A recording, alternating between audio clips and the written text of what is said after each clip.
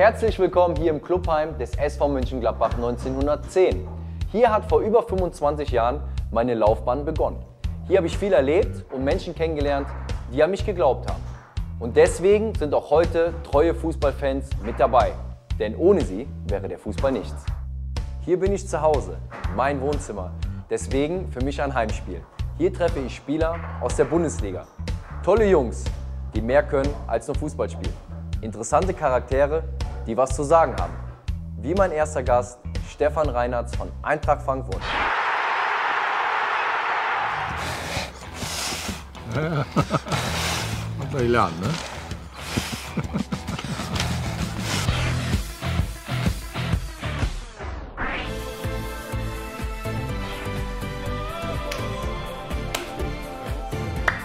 Stefan, schön, dass du gekommen bist zum Heimspiel.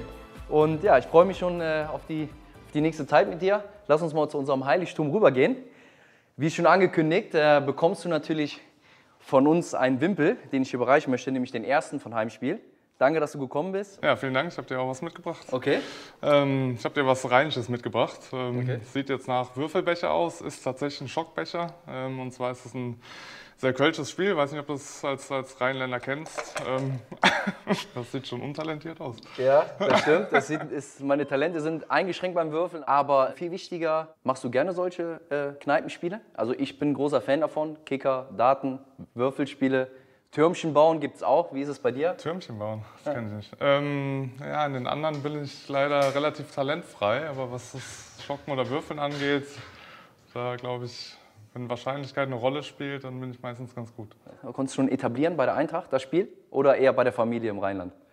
Äh, ja, wir haben ja, wir haben ja ein, zwei Spieler aus dem Rheinland. Der Bastio Czipka spielt ja da. Wir haben das, sagen wir mal, zusammen gelernt vor ein paar Jahren. Okay. Ähm, ansonsten, glaube ich, habe ich das mal so einer, so einer Schweizer Fraktion näher gebracht. Die sind Okay. für solche Spiele sehr offen. Aber es war noch so Vanetta, äh, Spegler, die Fraktion. Was ist, was ist der Reiz daran oder was ist das, das Coole am, am Joggen? Das Gute ist, äh, dass ich immer gewinne im Schocken. es gibt keine Sportart, in der ich besser bin, glaube ich. Okay. Ja, vielen Dank. Ja, ich bin gespannt, was du noch alles so zu erzählen hast heute. You never walk alone. Singt da wieder eine Scheiße heute, du.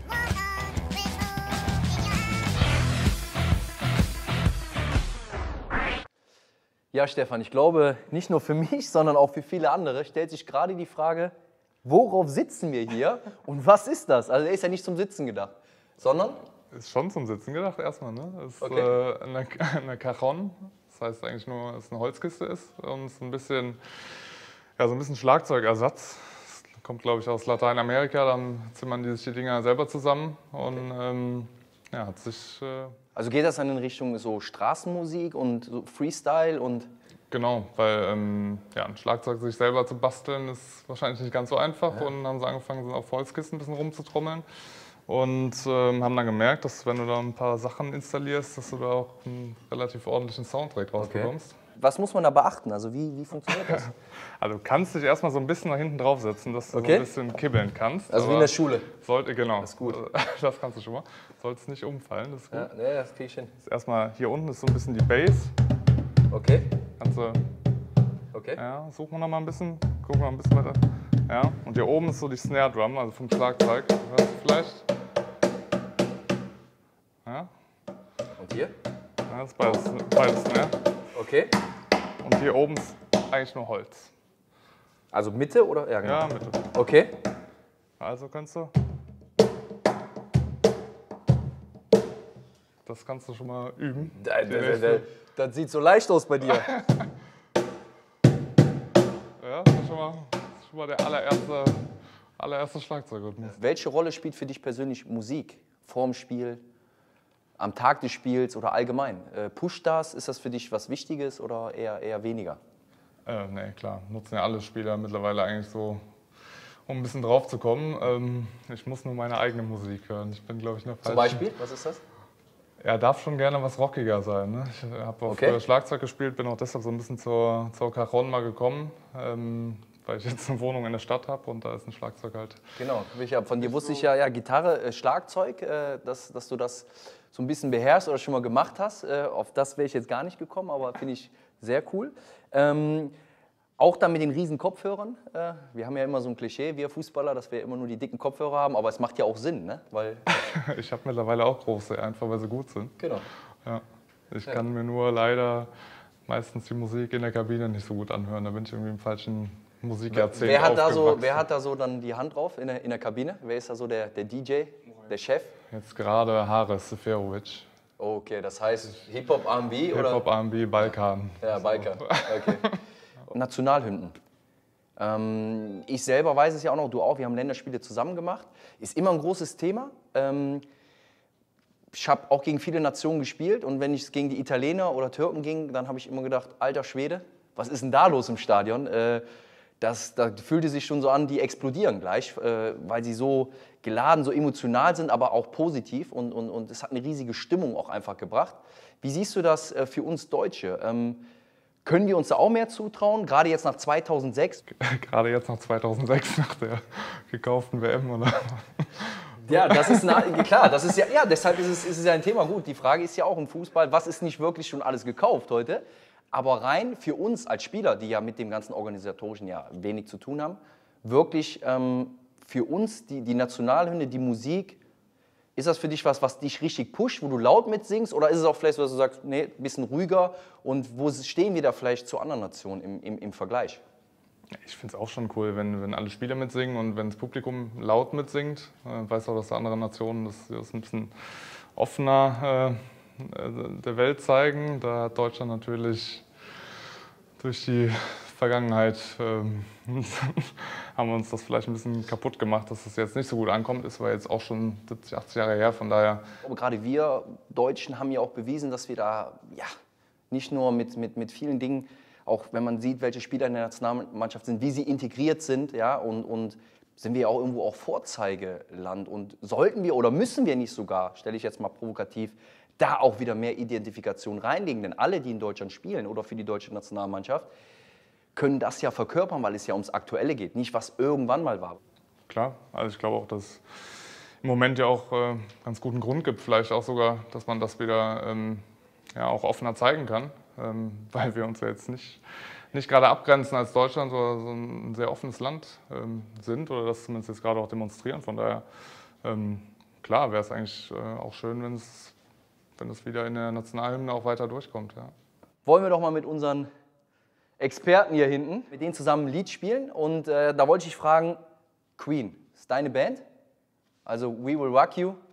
Kriegst du das dahin auf dem Ding? ja, das ist ja, Aber die sind heiß, die wollen mitsingen. das ist ziemlich simpel, ja. Okay. Ja, dann hau doch mal eine Session rein, also würde mich interessieren.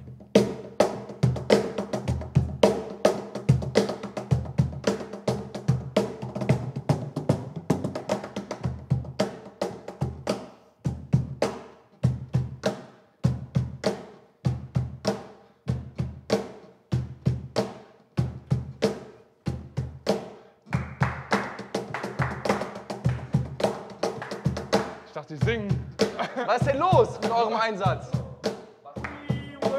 We will rock you. We will, we will rock you.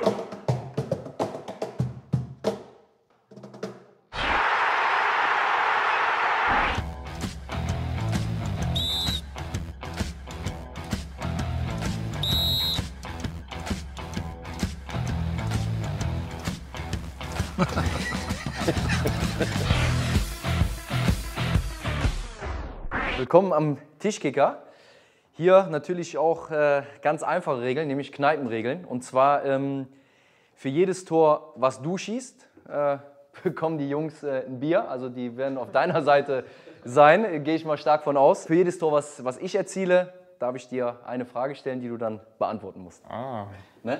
Und bevor wir jetzt so lange schnacken, fangen wir einfach mal an. Regeln sind ja eindeutig. Und dann wollen wir mal gucken, also wie oft du das schon gekickert hast. Bei mir ist das ab und zu mal vorgekommen, aber noch nicht so häufig. nicht, dass du mir gar keine Fragen stellen darfst. Ne? Nee, ja, dann ja. Ja. läuft. Siehst du, muss immer Gastgeber, Freunde. Gastgeber erste Runde muss immer ein Bierchen sein. Ja, okay. So, aber nicht so lange. Ne? Ich hoffe, ihr habt einen kurzen Atmen, so wie immer. In Lürrep. Oh, das war der erste für mich. Und dann auch gleich meine erste Frage. Was war dein schönster Moment in deiner aktiven Profizeit? Ach du Scheiße. Ähm, hatte, ja, ich bin nicht multitaskingfähig. Das ist das Gute, weil dann kann ich dir gleich noch zwei, drei andere Fragen stellen. Ah, ähm, ich bin mit Nürnberg aufgestiegen. Ähm, Okay. Vor sechs Jahren in die Bundesliga. Okay. Da haben wir, Aber nicht wegen der Aufstiegsfeier. an die erinnere ich mich nicht so. Nee. okay. Doch, das war schon, ein Aufstieg war schon ein Traum von Bundesliga und dann auch quasi, dass man sich selber, Also auch, die, auch die, die Phase, wo für dich dann auch alles dann so richtig begonnen hat durch den Aufstieg. genau, da war Okay. ich ausgeliehen von, von Leverkusen nach Nürnberg ab der Winter, wow, ab der Winterpause. Okay. Und meistens, ich weiß nicht, wie es bei dir war, meistens wird man ja irgendwann in die Bundesliga reingeschmissen, hat dann sein Ja. erstes Bundesligaspiel. Aber wenn man selber quasi aufsteigt, so von der zweiten in die ersten Liga, finde ich das schon auch irgendwie cool. Ja, Eigentor. Ich kann mir fast vorstellen, dass deine Aufstiegsfeier besser war als meine Meisterfeier damals bei Bayern, weil Ja, bei denen war es ja leider normal. Äh, Und da ist es. Ich muss ja auch mal was machen hier. Wir haben jetzt einen So, schon leider. Guck mal hier, das ist hier voller Einsatz, das Heimspiel. ist, äh, ne, ist ein aggressives Spiel hier. Viele Tätigkeiten. So, da ich ja eins gemacht habe, meine nächste Frage wäre: Wer war dein härtester Gegenspieler, den du jemals hattest? Als äh, Dzeko noch gespielt hat, da hatte ich so schon das Gefühl, dass es dass du mal gar keine Chance hast im Zweikampf. Es war seine Wolfsburger Zeit, ne? ja, War ja. seine Wolfsburger Zeit. Weiß nicht, haben die, der und Grafitsch, die haben beide 48 Tore, glaube ich, zusammengeschossen. Und äh, da war mal kurze Zeit mal gar nichts zu holen. Das Gefühl hatte zumindest am Feld. An die Zeit kann ich mich auch noch erinnern, das stimmt. Das waren zwei Raketen, vor allem Jeko mit seiner Spielweise. Jetzt habe ich ja wieder ein Tor gemacht. Äh, Jetzt kommt eine einfache Frage, die du hoffentlich noch weißt. Und zwar, was hast du dir von deinem ersten Gehalt gekauft? Äh, von der Aufstiegsprämie habe ich mir ein Auto gekauft, ein A3. Okay. Das weiß ich noch, aber allererste Gehalt weiß ich nicht. A3 steht draußen noch vor der Tür. Also der, Sehr gut, also treu Hat's- geblieben. hat's Lange der Familie. überlebt. Ja, Bei genau. mir jetzt auch äh, mehrere Generationen überlebt, das Auto. Was ich auch sehr gut fand. Also auch bist du eher ein Typ, der eben da doch ein bisschen überlegt, was er dann auch so mit seiner Kohle da anstellt. Oder wie man sie einsetzt. ja, ich habe echt kein Fable für Autos, muss ich sagen. Okay. Oh, jetzt. Oh, jetzt Bein ab. Müssen- Das müssen wir, das müssen wir festhalten. Ne, ey. Das ist hier äh, brutal. Ich weiß gar nicht, ob wir, die vor, ob wir die vor 0 Uhr senden können, aber egal. Ist auch Schiriball jetzt. Das ist jetzt auch noch nicht so oft passiert, dass einer beim Kick am Bein verloren hat. Ah, da fehlt er ja. Ja, da, aber ich finde, so, das macht dich sympathisch, dass du auch noch genau den anspielst, der kein Bein hat. Kann man jetzt drüber streiten, aber das ist halt dein rheinländischer Humor, ne? denke ich mal. Ich wollte jetzt nicht in meiner ersten Sendung gleich das Kickern verlieren. Dann brauche ich mich gar nicht mehr blicken lassen hier in meinem Dorf. Willst du jetzt hier einen auf, auf Stefan Raab machen, oder was? Der Ja. seine Sendung gewinnt? Oder? Ja, ist ja zumindest der Anspruch, weißt du, ja, so unter Sportlern, ne? Weil man muss halt auch irgendwann mal lernen. Ah, Ah, Stefan, die Frage hebe ich mich für später auf. war ja auch deine Sportart, ne? Auf einer Linie hier, die, die Bremer lassen diesen einen Pass ausspielen. Wenn er was tiefer stehen würde, würde das nicht passieren. Ne? Aber Männers, komm, jetzt ist doch mal gut. Lass euch trinken. Zum nächsten Spiel, Memory. Ähm, du siehst sehr überschaubar, ist für mich halt besser, weil ich verliere auch immer gegen mein Patenkind. Das ist ja die Fußballer-Variante quasi von Memory. Das ist die Fußballer-Variante, genau. Äh, gut, gut erfasst. Äh, ja, ich würde sagen, du als Gast fängst natürlich an und äh, ich hoffe, dass du schon viel umdeckst und ich dann nur noch verende und dann sprechen wir über die Themen. Alles klar. Ah, das kann ein super Thema werden. Ja, warum? Wir sind ja offene Typen, ne? Okay. Ja, wissen wir ja. Oh, ist das schlecht. Ist das schlecht, meinst du? Ja? ja, den jungen Mann, den wir hier umgedreht haben. Wer ist denn das, Stefan? Ich hoffe, es ist Sigmund Freud. Ja, ich glaube, das ist äh, ein Thema, wo du was drüber erzählen kannst, weil es auch etwas ist, glaube ich, was du studierst, nämlich Psychologie. Habe ich zumindest. Ja, meistens mache ich äh, schon neben Fußball habe ich irgendein Projekt, was ich irgendwie vorantreibe. Ich habe mal zwischendurch äh, zwei Jahre studiert, Psychologie, genau an der Fernuni Hagen. Warum Psychologie und weil du auch einen Nutzen da siehst für klar den Alltag Fußball, äh, Mitspieler zu verstehen, Vorteile zu haben? Äh, Thema Mitspieler verstehen, das habe ich aufgegeben irgendwann. Das wird nichts mit dem Leben. Äh, nee, ich habe einfach, ähm, du kennst ja unsere Trainingspläne, die lassen ja doch ab und zu mal zu, dass man sich mit was anderem beschäftigt, auch wenn es nicht immer gerne gesehen wird. Ich habe das Thema oder die Erfahrung auch oft gemacht, dass man dann schief angeguckt wurde, so nach dem Motto, wie kannst du denn was neben dem Fußball machen? Aber wie denkst du über das Thema? Weil eigentlich ist es doch nicht verkehrt, auch äh, gewisse Art der Zeit auch sinnvoll, was heißt sinnvoll, aber effektiv zu verbringen mit Dingen, die einen beschäftigen. Oder wie, wie siehst du das? Ja, natürlich genauso. Ähm, ich finde es auch manchmal erschreckend. Ähm, es wird auch oft natürlich dann rangezogen, wenn es gerade mal nicht so gut läuft. Ah, der macht ja auch XY oder hat äh, Gedanken woanders dran. Ähm, ich habe es nur bei mir selber gemerkt, wenn ich nichts gemacht habe, dann hänge ich unzufrieden zu Hause rum, weiß nichts mit mir anzufangen und fühle mich total fehl am Platz und unmotiviert. Also ähm, das ist quasi sogar das Gegenteil. Also wenn ich was nebenbei mache, dann ist es, glaube ich, sogar am Ende leistungsfördernd, auch für das, was ich auf dem Platz mache. Weil sonst, ja, wie gesagt, fühle ich mich irgendwie ein bisschen leer, wenn ich sonst nichts anderes mache. Welche Rolle spielt überhaupt Psychologie und der Kopf im Fußball? Ja, nicht zu unterschätzen auf jeden Fall. Ist jetzt nichts ganz groß Neues. Ähm, Fußball ist ja schon noch ein Tacken hinterher gegenüber anderen Sportarten. Also ich war mal in Leverkusen der Reha, da war der, der beste 100-Meter-Sprinter Deutschlands und der hat mir erzählt, er macht zweimal die Woche Mentaltraining. Und ich dachte so, für einen Sprinter, der bei los geht's los und dann 100 Meter geradeaus laufen muss, ne, dass die zweimal die Woche Mentaltraining machen, fand ich schon krass. Dafür, dass wir am ähm, Wochenende irgendwie für 50.000 Leuten spielen und da nicht geschult werden in der Regel. Von daher ähm, ja, glaube ich, äh, dass der Fußball da extrem Nachholbedarf hat. Aha, okay. Ich glaube, den jungen Mann kennst du gut, aber finden wir den jetzt nochmal? Das ist die Frage. Ja, oh, ja ich, ich, bin ja echt ein Profi. Schlecht, ja, ne, ich wusste es wirklich nicht. Nee. Weil, äh, Eben beim Kickern habe ich zehn Mann, hier äh, deckst du alles Gut, dir ist ein Bein abgefallen, also wie sollen wir das, ne? ich meine, äh, zu dem Thema kommen wir ja noch gleich. Ja, zu dem jungen Mann kannst du, glaube ich, was erzählen. War er ein Grund, Bastian Ocipka, war er ein Grund, dass du zu, zu, Frankfurt gegangen bist auch oder mit ein Grund? Ja, schon mit ein Grund. Ähm, habe ich natürlich mit ihm ausgetauscht, weil ich, äh, ist jetzt schon der dritte Verein, mit dem ich, äh, wo ich mit Basti zusammengespielt habe. Äh, lange in Leverkusen, davor sogar noch bei Bergisch Gladbach. Von daher, klar, habe ich auf die, auf die Meinung viel Wert gelegt, was er sagt über die Truppe, über den Verein. Und ähm, klar hat es mich dann auch gefreut, dass ich äh, auch mit einem Freund dann wieder im Profifußball irgendwie zusammenspielen kann. So viel wie ich weiß, hast du ja auch ein Angebot gehabt von West Ham. Das ist genau. Und es war ja auch eine Option. Ich denke, Premier League, die zahlen ganz gut, die kriegen so ein paar Mark für die, für die Fernsehgelder. Warum war das für dich dann einmal klar, äh, Ochipka, äh, Deutsch, warum nicht, warum nicht Premier League, warum nicht äh, West Ham? Ich habe schon damit geliebäugelt, ne? gerade weil es auch London ist. Die Stadt hat ja schon ein bisschen was zu bieten. Ähm, wie du gesagt hast, die Vereine haben auch ein bisschen Patte an der Hand. Das ist ja mittlerweile hinlänglich äh, bekannt. Ähm, ja, trotzdem irgendwie, ich fühle mich hier im Rheinland schon irgendwie wohl. Jetzt ist es äh, Frankfurt geworden, ist auch nicht so weit weg vom Rheinland. Ähm, du hast ja auch viele Mitspieler wahrscheinlich erlebt, ähm, die auch so ein bisschen sprechen, ja, ich würde mal gerne Italien, USA und hast du nicht gesehen. Und am Ende bleiben sie dann doch die meisten irgendwo hier. Und so ist mir, glaube ich, auch ein bisschen ergangen. Als es dann wirklich hart auf hart kam, sagen wir mal, ähm, willst du denn jetzt ins Ausland? Da habe ich dann doch ein bisschen gekuscht. Und aufgrund der, der, der Herausforderung, die dich da erwartet oder aufgrund, sagen wir mal, so dieses heimische Gefühl, was du, was du hier hast? Oder weil du dann doch sagst, oh, das wäre ein Schritt, den möchte ich jetzt mit 26, ist man ja eben noch jung, möchte ich jetzt noch gar nicht machen?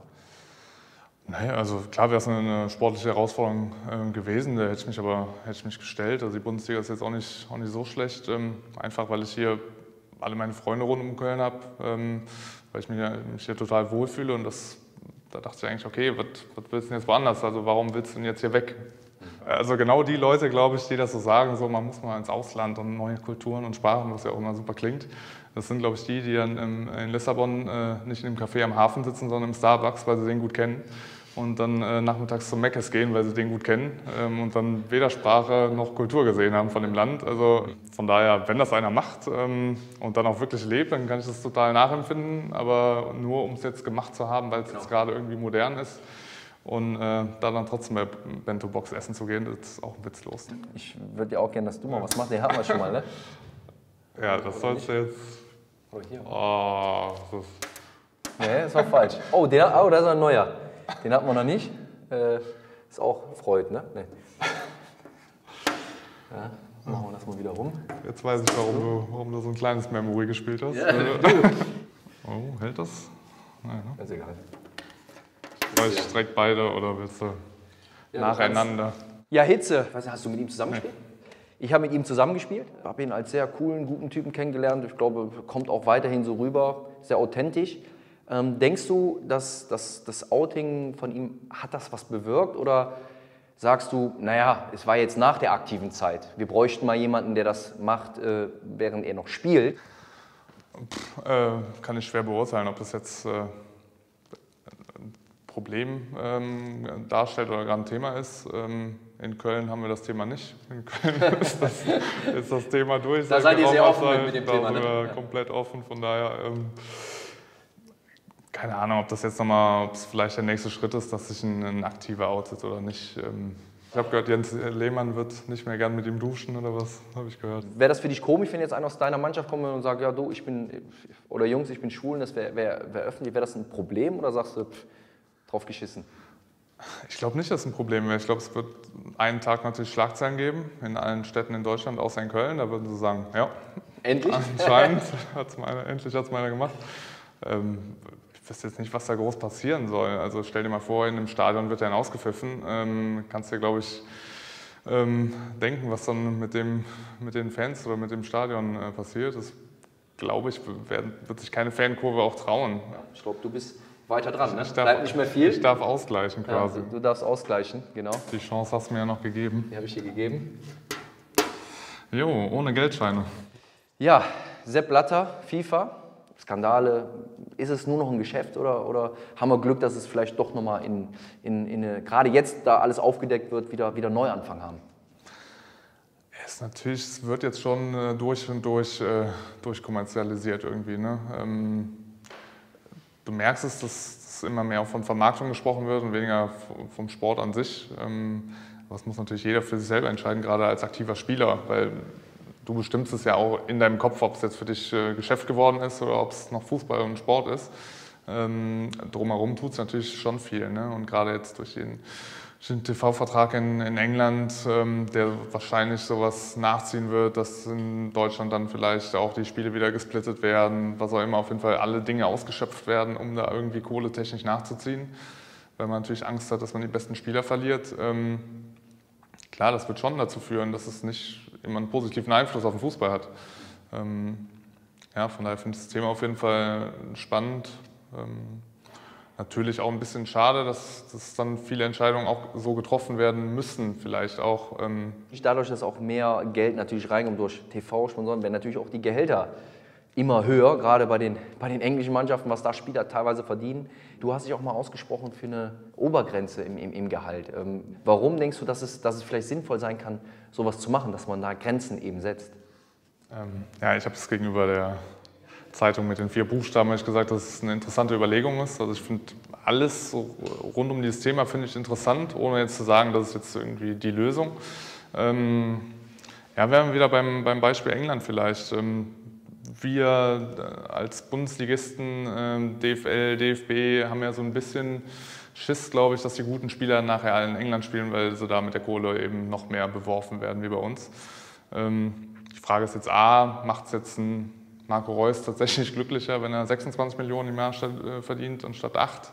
Ähm, B wäre die Frage, ob man es nicht ähm, ja, zentral von der DFL, von der UEFA, von der FIFA, wo auch immer, eigentlich so steuern kann, ähm, dass diese Summen überhaupt gar nicht erst bezahlt werden können, weil du es vielleicht viel besser anders einsetzen kannst, weil ich nicht daran glaube, dass, ja, dass ein Spieler am Ende des Tages, äh, dass es ihm jetzt groß noch weiterhilft, ob er jetzt äh, 12 Millionen oder 20 Millionen verdient. Und wir befeuern das jetzt total, weil ähm, ich glaube, von jedem Euro, der jetzt äh, in der Vermarktung mehr on top äh, eingenommen wird, sind wahrscheinlich am Ende 60 Cent äh, bei, den, bei den Fußballern in der Tasche. Und ähm, ist halt die Frage, ob das sinnvoll ist. Es ist auch nicht falsch, dass einer 25 Millionen im Jahr verdienen kann. Soll er von mir aus. Ich finde es nur schade, weil ich nicht glaube, dass es die Lebensqualität noch erhöht, wenn einer 25 Millionen äh, im Jahr verdient. Hat jetzt wenig mit, mit Fußball auch äh, zu tun. Im Fußball ist es halt nur extrem. Ähm, es ist anscheinend legitim, ähm, dass wir alle äh, genug Kohle beiseite legen können, auch dass wir vielleicht den Rest des Lebens durchkommen. Das ist auch gut so vielleicht. ähm, für die meisten zumindest. Aber ich finde, es sollte da schon irgendwo Grenzen geben, ähm, ja, wo es, glaube ich, einfach keinen Sinn mehr macht.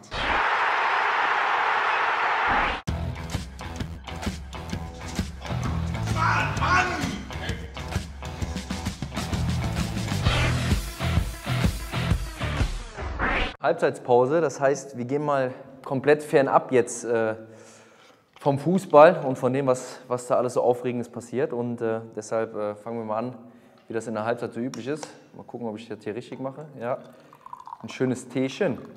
Mit Schuss oder ohne? Was, was magst du gerne? der Der Gast kriegt immer die Tasse. In der Halbzeit dann besser ohne. Ne? In der Halbzeit besser ohne, wobei manchmal, ne? Wer weiß, ob das nicht besser ist. Kommt aufs Spiel an, ne? Nee, aber ja, Prost. Schön, dass du hier bist, ne? Auch wenn das mit Tee ist, wir sind ja Sportler. Einer von uns zumindest. Ne? Wenn wir den, wenn wir den Fußball jetzt mal ausblenden, ähm, gibt es irgendwas, was, was dir so richtig mal auf der Seele brennt, was du schon immer mal loswerden wolltest, äh, fernab vom Fußball, was gerade in der Welt passiert oder was dich, was dich beschäftigt? Ähm, ja, gibt viele, viele spannende Themen im Moment. Ähm, ob ich mich da jetzt unfassbar drüber aufrege, sei mal dahingestellt. Ähm, aber ich äh, bin ja jetzt gerade in einer Bankenstadt aktiv und ich finde eigentlich so das ganze Thema rund um die EZB gerade relativ spannend. Ähm, ob das jetzt ein Thema zum Aufregen ist oder nicht. Ähm, aber ähm, ja, das ist einfach, was eine Zentralbank jetzt gerade für, für eine Macht hat. Ähm, ich weiß nicht, ob du, du da ein bisschen was drüber gelesen hast. Das ist schon, schon interessant und ich glaube, dass das so für die nächsten 30, 40 Jahre wird man sich irgendwann mal denken, hoppala, da irgendwann nach 2000 ist was passiert. Ähm, äh, das war eigentlich historisch und ich glaube, dass wir da jetzt gerade so mittendrin leben und auch viel, viel geschrieben wird, äh, gerade natürlich so in der, in der Frankfurter Presse. Ähm, ja, wo wir uns, glaube ich, noch eine Zeit lang beschäftigen werden. Das heißt, Frankfurt, klar, Finanzstadt, gehört, das mal gesagt, äh, in der Woche brennt da, da ist viel los und äh, am Wochenende gefühlt ist gar keiner mehr auf den Straßen unterwegs. Äh, das heißt, äh, viele laufen da auch dann äh, in der Woche mit Anzug rum und versuchen da, dass sie die Drähte heiß laufen. Oder wie muss man sich das vorstellen in, in Frankfurt? Ja, in Frankfurt gibt es auf jeden Fall äh, zwei Arten von Leuten, die relativ wenig für die Gesellschaft tun, aber sehr viel Geld verdienen. Das sind die Fußballer und die Banker. Ähm, die einen arbeiten unter der Woche, die anderen am Wochenende. Und ähm, ja, hast schon recht. Also ich glaube, unter der Woche sind nur, äh, nee, unter der Woche sind über eine Million Menschen, glaube ich, in der Stadt. Am Wochenende nur 500.000. Ähm, davon 50 zum Glück in unserer Arena. Ähm, ja, aber die Stadt ähm, ist schon irgendwie auch, äh, auch besonders. Gibt es irgendwas, was dich komplett aufregt oder bist du da tiefenentspannt?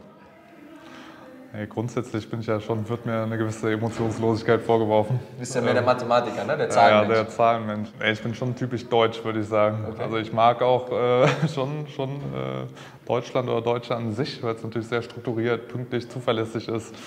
Ähm, ich glaube, dass ich das auch äh, größtenteils bin und ich reg mich doch darüber, kann ich mich total aufregen, wenn Leute unzuverlässig oder unpünktlich sind. Aber das wäre wieder eine extrem deutsche Eigenschaft von mir. Ne? Aber das wird andererseits ja auch uns immer zugute gehalten, dass äh, gerade wenn wir mal im Ausland sind und da was machen, dass man auf uns eigentlich zählen kann. Und sagen, typisch deutsch, aber wissen sie dann auch zu schätzen meistens oder hast du da andere Erfahrungen gemacht? Nee, bis jetzt nicht, aber VW hat uns da ja was eingebrockt. Vielleicht ändert sich das bald. Ohne Matti, ohne Kleffi, wird schwer genug. Jungs,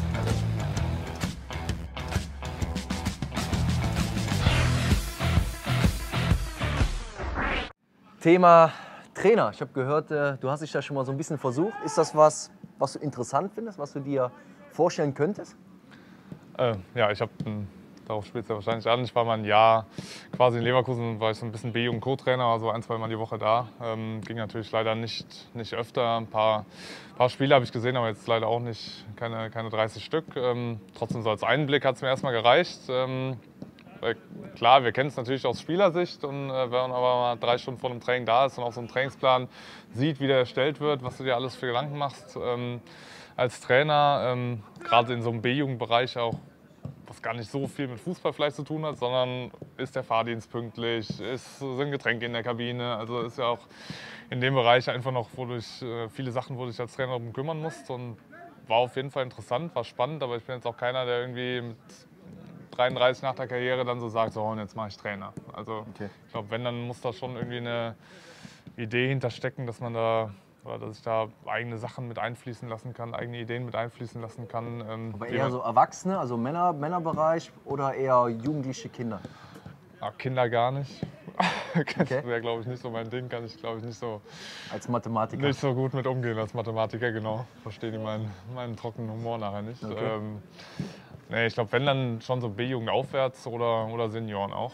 Ähm, die meisten würden ja, glaube ich, am liebsten auch so eine B-Jugend, A-Jugend trainieren, weil es natürlich einfach ist, weil die Jungs da alle äh, ja, mega Bock haben, jeden Tag äh, mit total viel Energie kommen. Ähm, Gerade deshalb finde ich es aber auch äh, interessant, mal so eine Profimannschaft ähm, zu trainieren, wo du eben Spieler hast, die schon viel erlebt haben, wo du junge Spieler hast. Ähm, ja, wo natürlich alle schon Spaß an ihrem ähm, Beruf haben, aber es natürlich ganz viele verschiedene Wege auch schon gab. Spieler kommen aus Verletzungen. Ähm, das finde ich schon interessant, ne? wenn dann 25 äh, Spieler rumlaufen hast und die optimal irgendwie zu betreuen, zu fördern, ist natürlich schon eine, eine Riesenaufgabe. Wie, wie siehst du das bei, bei Trainern? Äh, sollte man die da mehr stützen, unterstützen oder denkst du, die sind da gut aufgestellt mit den Verträgen, die sie haben?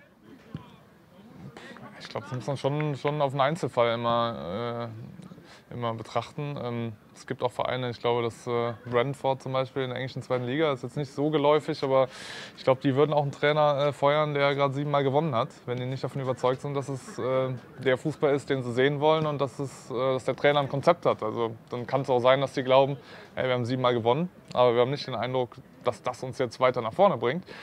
Dann finde ich es natürlich auch sehr mutig, ähm, so einen Trainer zu feuern, aber ich glaube, das ist die richtige Herangehensweise, dass man so weg von den Ergebnissen geht, weil jetzt in den Jetzt zum Beispiel bei, Frankfurt hast du viele, ähm, viele offene Spiele, dann kannst du mal 1-0 gewinnen, kannst mal 2-1 verlieren, kannst mal in, in einen Lauf reinrutschen, in einen positiven Lauf vielleicht auch, den du vielleicht gar nicht verdient hast, kann aber auch andersrum laufen. Ähm, da musst du eigentlich weggehen vom, vom Ergebnis. Wenn ich Vereinsvertreter wäre, Manager, Präsident, würde ich den Erfolg vom Trainer gar nicht so extrem von dem Ergebnis abhängig machen, weil da zu viel, zu viel Zufall einfach eine Rolle spielt, sondern viel, viel mehr entwickelt er die Mannschaft weiter, entwickelt der einzelne Spieler weiter. Ist da, ist da was erkennbar, ist da ein Konzept erkennbar, ist da ein Weg erkennbar? Ja, bis jetzt äh, zu Frankfurt gewechselt im, im Sommer. Hast sehr, sehr gut angefangen. Kleines Tief, äh, wieder rausgekämpft, gute Phase gehabt. Was sind deine Ziele? Hast du dir da welche gesteckt? Ja, wir sind jetzt, glaube ich, mal einen halben Schritt so zurückgegangen, was unsere Spielphilosophie äh, anbelangt. Haben ähm, ja, am Anfang eingesehen, dass wir vielleicht als Mannschaft noch nicht so weit sind, wie wir das gerne ähm, gewollt hätten. Ähm, haben uns jetzt, glaube ich, ein bisschen, ein bisschen stabilisiert. Ähm, glaube, dass wir darüber auch, auch einige Punkte sammeln können, um uns dann als Mannschaft vielleicht auch, äh, auch wieder weiterzuentwickeln. Und der Trainer lässt ja gerne offensiv spielen und äh, wir würden es ja auch gerne umsetzen. Ähm, Du weißt ja, wie es ist im Fußball. Meistens funktioniert es aber vor allem, wenn defensive Sachen auch gut klappen. Von daher ähm, ja, hoffen wir uns da, dass wir uns da als Mannschaft weiterentwickeln. Kannst du dir noch mal vorstellen, ist immer schwer, ist immer auch so eine Frage, die man oft gestellt bekommt, die auch oft gestellt bekommen haben, aber nicht beantworten konnte. Kannst du sie machen, dass du sagst, ja, doch noch mal irgendwie ein Verein, der dich richtig interessieren würde? Oder sagst du absolut äh, Frankfurt und alles andere ist komplett offen? Ist offen. Also ich bin jetzt kein, kein Wandervogel bis jetzt gewesen und wollte auch jetzt eigentlich nicht äh, jedes Jahr zu einem neuen Club äh, tingeln. Klar, gibt es viele gute Vereine. gibt auch ein paar Vereine, wo ich nicht unbedingt hin muss. Ähm, Zum Beispiel? Nee, da, das, sonst wechsle ich da in zwei Jahren hin. Das geht immer ganz schnell im Fußball. Ne? Dann, weißt du, wie es ist, dann wechseln da drei handelnde Personen. Wie dann wenn der Trainer sagt, der kann nicht mit rechts schießen und an dem Tag macht er einen rein, ne? Ja, das wäre typisch. Ne? Von daher, ähm, nee, jetzt gerade fühle ich, mich, fühl ich mich wohl im Verein. Ähm, von daher gibt es jetzt überhaupt keinen Grund, da irgendwie sich Gedanken gerade zu machen. Bin ja gerade erst angekommen. Okay.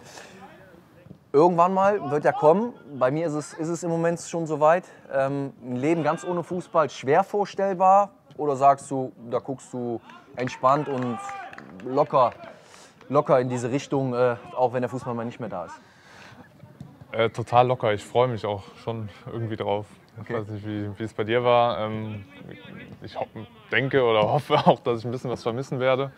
Ähm, das wird so sein, das wirst du Ja, wahrscheinlich bestätigen können. Das ist definitiv klar. Ähm, also der Job macht ja, macht ja total viel Spaß. Es äh, gibt ganz viele Sachen, die auch, die auch echt, echt super sind im Job. Aber es gibt natürlich ein paar Sachen, äh, auf die dich vielleicht auch mal gefreut hast. Das wäre so Sonntagmorgen ausschlafen, frühstücken. Das wäre mal zwei Tage am Stück mal was zu machen. Ne? Das wäre zwischendurch auch mal schön. Aber gut, wir haben so viele Privilegien, da muss man eben auf ein paar Sachen verzichten.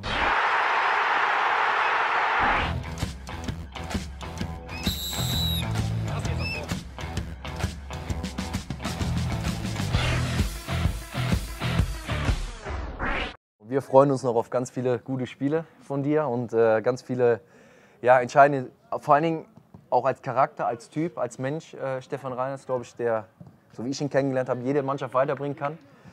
War mir eine Freude, dass du auch gerade gekommen bist, weil wir kennen uns zwar nicht so gut, haben aber doch der eine oder andere lustige Reise hinter uns gehabt, auch mit der Nationalmannschaft und äh, fand es sehr spannend mit dir und äh, ja, einfach klasse nochmal, dass du da warst und äh, alles Gute für, für die nächsten Spiele und äh, bleib gesund. Ja, dann vielen Dank.